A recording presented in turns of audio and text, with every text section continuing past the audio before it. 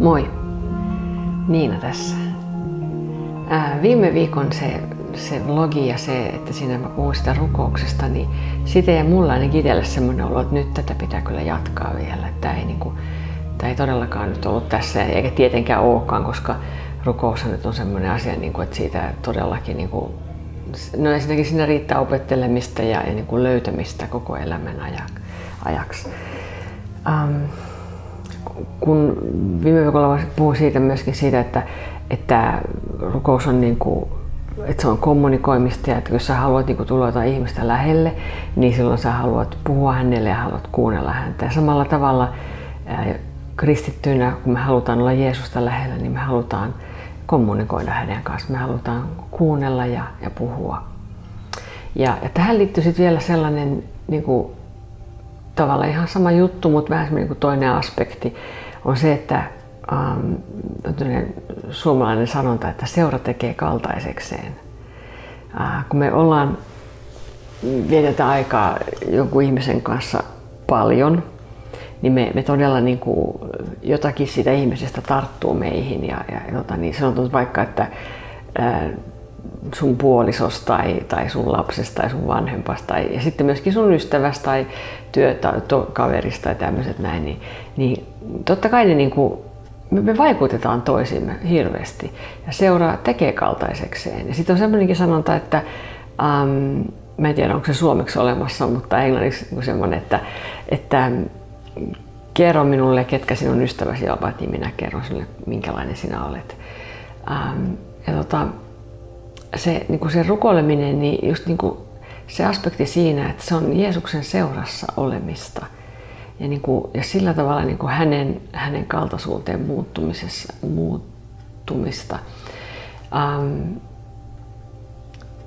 monesti me niin kuin ajatellaan rukouksia jotenkin niin, että siinä, niin kuin, siinä niin kuin sanotaan tiettyjä asioita ja pyydetään jotain tiettyjä asioita – ja sitten niin odotetaan, että ne tapahtuu tai sitten ne ei tapahdu ja sitten ollaan pettyneitä tai tällä tavalla näin. No viime viikolla sitten oli puhetta siitä, siitä, että tapahtukoon sinun tahtosi, että se on, niin kuin se, se on se paras niin kuin se tulos siitä aina siitä, mitä me rukoillaan. Niin, tota, niin tähän sitten niin kuin vielä tietenkin lisänä semmoinen aspekti, että mä huomannut itse, että useasti niin kuin se suurin asia, suurin asia ja useimmiten tapahtuu niin, kuin niin että se, se mikä niin kuin siinä muuttuu, siinä kun me rukoillaan, niin se ei välttämättä muutu se, se vaikka nyt jos mä nyt vaikka rukoilen, että mä saisin sen työpaikan tai jotain tällaista näin, niin, niin se ei niin kuin välttämättä sitten muutu se juttu, se, että, että mä sain sen, tai, tai jos mä rukoilisin, että voi kun tuo ihminen on niin vaikea, niin, niin, että, niin että muuta sitä tai jotain tällaista näin, niin, niin se voi olla, että, niinku, että joku sellainen tilanne, että se ei, se ei muutu. Mutta se, mitä siinä tapahtuu, on, että mä rupean muuttumaan. Kun mä rukoilen jonkun asian puolesta ja kun mä niin kuin vietän Jeesuksen kanssa aikaa niin kuin, niin kuin asian tiimoilta, ja kun mä yleensä vaan vietän Jeesuksen kanssa aikaa, niin, niin silloin, silloin hän muuttaa mua. Ja, ja se voi olla, niin kuin, että se tilanne, mitä mä katsoin, että vitsi, tämä on, vitsi, tämä on niin kuin, um, niin kuin täysin mahdoton ja, ja mä en kestä tätä ja näin, niin, niin kun sä rupeat rukoilemaan sen tilanteen puolesta ja yleensä sitten niitä ihmisiä siinä yleensä on, niin niiden ihmisten puolesta, niin sä huomaat, että sä rupeat muuttumaan ja että mä huomaan, että mä rupean muuttumaan. Ää, ja voi olla niin kuin summa summarum, että se ihminen vaikka tai ne, ne ihmiset tai se tilanne, että se pysyy samana mutta sä oot muuttunut. Sun suhtautuminen siihen tilanteeseen on tullut enemmän sellaiseksi suhtautumiseksi, mitä Jeesus haluaa. Ja silloin itse asiassa niin, ää, varmaan suuri osa niistä asioista on jo niin kuin tavallaan ratkennut. Sitten voi olla niinkin nimittäin, että, että, että niin jos mä nyt rukoilen jotain juttua tai vaikeaa tilannetta siinä, niin se voi olla, että mä olin se ongelma, mutta mä en vaan tajunnut sitä mä niin sitähän luulee aina, että toiset on ne ongelma. Et mä olin se ongelma ja, ja nyt kun niin kuin mun asenne muuttuu, niin sitten niin kuin se juttu täysin laukeakin siinä sitten. Ja, ja tota, kaikki on niin sanotusti hyvin. Uh, Tämä niin seura tekee kaltaiseksi ja Jeesuksen kaltaiseksi tuleminen, niin, niin se liittyy hyvin vahvasti rukoukseen. Se liittyy hyvin vahvasti myöskin muihin asioihin, joista toivon mukaan pystyn sitten puhumaan myöhemmin. Mutta, mutta tota, niin kuin tämä, että, että kun mä, kun mä tuon niitä asioita, mitä tahansa asioita ää, Jumalan eteen, ää, niin silloin se vaan, mä niin rupean katsomaan niitä, kun mä niin asettaudun hänen eteen, niin mä rupean katsomaan niitä toisesta vinkkelistä. Hän, hän vaikuttaa minussa sen, jos mä, jos mä suon sen, jos mä sallin sen. Tietenkin jos mä oon niin, niin pönttö, että mä vaan niin kuin, että ei, kyllä mä oon oikeassa ja kyllä näin se pitää mennä, niin, niin sitten eihän niin kuin silleen väkisin mua muuta, mutta, mutta jos mä sallin sen, niin, niin hän rupeaa muuttamaan mua niin kuin oman kuvan kaltaiseksi, eli niin kuin itsensä kaltaiseksi.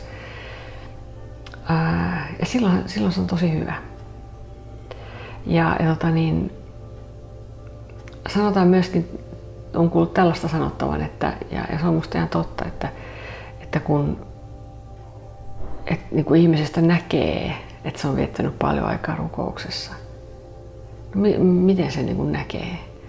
No just sen, siinä, niin kuin, että, että se on, se on muuttunut enemmän Jeesuksen kaltaiseksi. Se on, se luottaa enemmän, se on nöyrempi.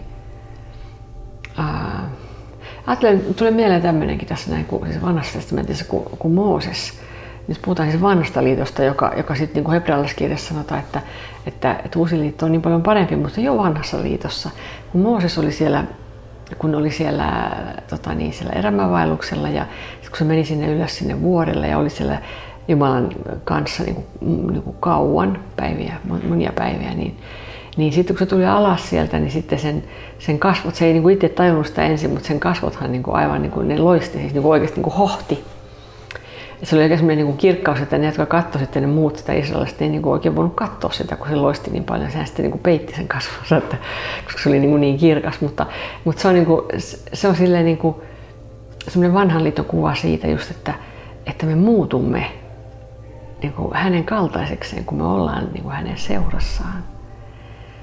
Um, tämä on sellainen aspekti, mitä on kyllä hyvä, hyvä rukouksesta niin kuin, silleen, tunnistaa ja, ja tota, niin ymmärtää. Ja, ja että se ei niin kuin, tarkoita sitten tosiaankaan se rukous todellakaan tarkoita vaan sitä, että, että mulla on jotain pyyntöjä ja sitten katsotaan miten käy.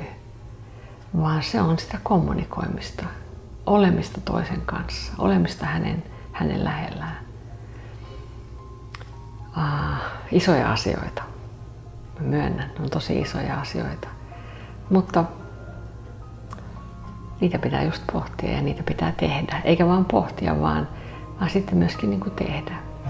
Koska sekin on totta, että ei, ei ole mitään järkeä vaan puhua rukouksesta. Asioista pitää puhua, mutta sitten on niin tosi tärkeää, että sitten vaan niin rupeaa rukoilemaan. No niin, tämmöinen sitten tälle viikolle. Ja, tota, ja nyt kun mä puhun tästä rukouksesta, niin mulla on semmoinen fiilis, että varmaan vielä vähän jatketaan ensi viikolla. Jee. Mä luulen, että ensi viikolla sitten niin, niin tota menee sillä tavalla, että kääritään vähän niin kuin hiat ylös ja, ja tota, ää, let's get busy. Elikkä, elikkä sille konkreettisesti sitä, että mitä, mitä se, miten sitä voisi aloittaa rukoilemista. Oikein siunattua viikkoa.